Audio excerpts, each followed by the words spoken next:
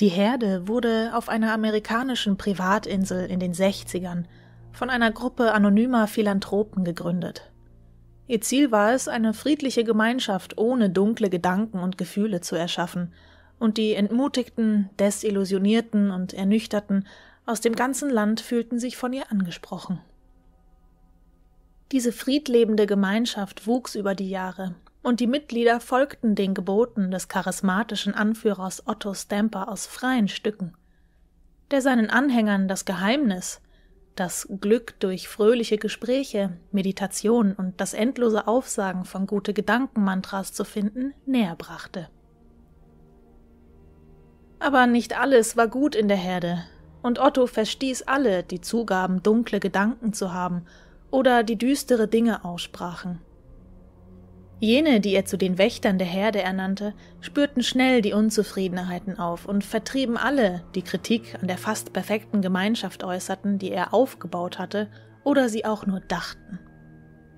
So konditionierte Otto die Otto-Marianer darauf zu glauben, dass dunkle Gedanken die Wurzel aller Unzufriedenheit waren.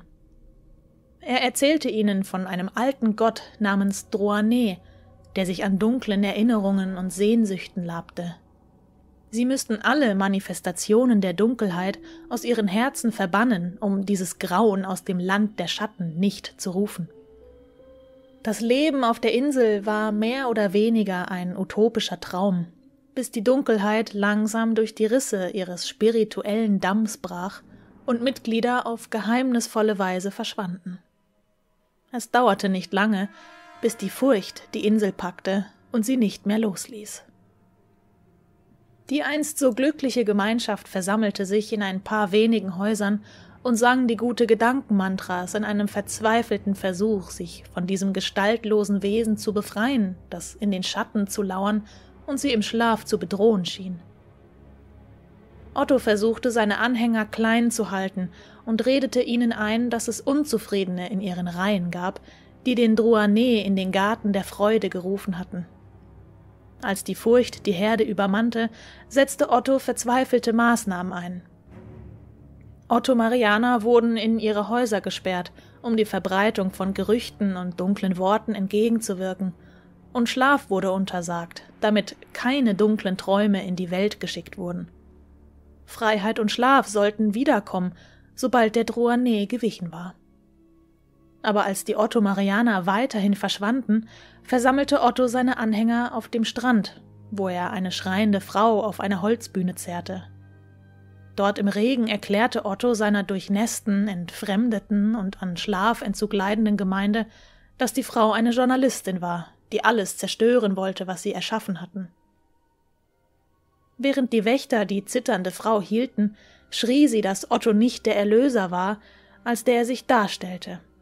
Er gehörte einer uralten Sekte an, einem exklusiven Club von Milliardären, die es genossen, Menschen, Städte und sogar ganze Länder zu verderben und sie einem alten Gott zu opfern. Die Journalistin offenbarte ihnen, dass Otto niemanden verbannt hatte. Er hatte alle gefoltert und geopfert, und sie würden die Nächsten sein. Ohne zu zögern schlitzte Otto ihre Kehle auf, bevor sie weitere Lügen verbreiten konnte. Als sie mit den Händen an ihrem Hals auf die Knie fiel, erzählte er seiner verwirrten und entsetzten Herde, dass sie mit anderen in ihren Reihen zusammengearbeitet hatte und dass sie die Betrüger finden mussten, bevor der Drouanet sie alle holen würde. Ottos Wörter erfüllten die Luft um die Gemeinde und drangen tief in die trüben Winkel ihrer Herzen, wo sie dunkle und ängstliche Gedanken weckten. Jahre der unterdrückten Gefühle traten zutage, als ein dichter Nebel zwischen ruhelosen Beinen und Füßen waberte. Erst begann ein Flüstern, das zu panischen Mantras anschwoll.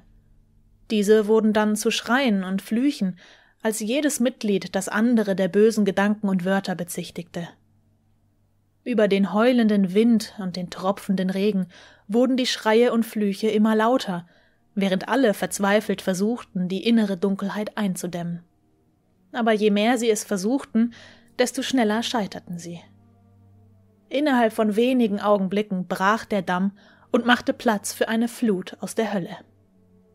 Otto sah zu, wie seine einst glückselige und fröhliche Herde plötzlich in Gewalt ausbrach. So etwas hatte er noch nie gesehen. Die Herdenmitglieder schrien sich Anschuldigungen zu und rissen sich mit Händen und Zähnen in Stücke, und kein einziges Mal sahen sie hoch zu ihrem freundlichen und charismatischen Hirten, der mit kalten, düsteren und gnadenlosen Augen lächelnd auf sie herabsah.